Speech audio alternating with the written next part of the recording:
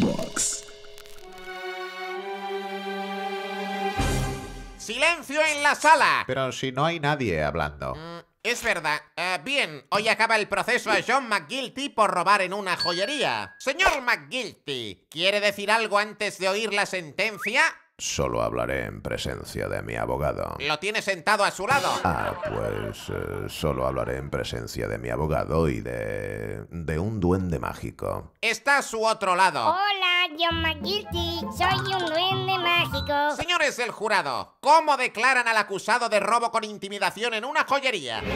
Señoría, el jurado por unanimidad ha decidido declarar al señor McGilty inocente. Muy bien, señor McGilty. Queda usted absuelto de todos los cargos. Un momento. Las joyas que luce el jurado son muy parecidas a las que usted robó. McGilty, hoy la ha cagado. No solo ha atracado una joyería, sino que ha comprado a un jurado. ¿Sabe cuántos años de cárcel significa eso? Eh, ninguno. No.